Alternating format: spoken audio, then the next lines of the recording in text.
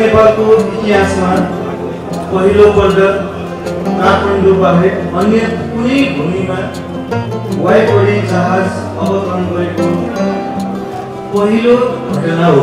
काठमाडौँपछि यो गौतम बुद्ध अन्तर्राष्ट्रिय विमानस्थलमा वायुपडी जहाज ल्यान्ड गरेको छ। त्यस कारणले यो दोस्रो अन्तर्राष्ट्रिय विमानस्थल हामीले डेमोन्स्ट्रेसन फ्लाइट भनेर नाम दिएका छौँ। त्यो डेमोन्स्ट्रेसन फ्लाइट सम्पन्न भएको अवस्था छ। र नेपालको नागरिक उड्डयन क्षेत्रमा चौहत्तर वर्ष पछाडि दोस्रो अन्तर्राष्ट्रिय विमानस्थल हाम्रो भूमिमा हामीले सम्पन्न गरेको छौँ निर्माण सम्पन्न गरेको छौँ।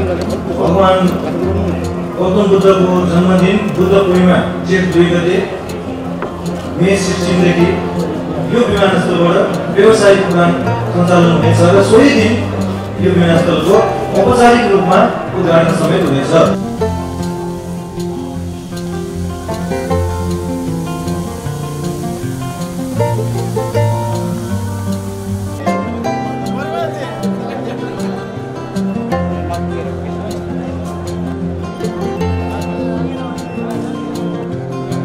Hola.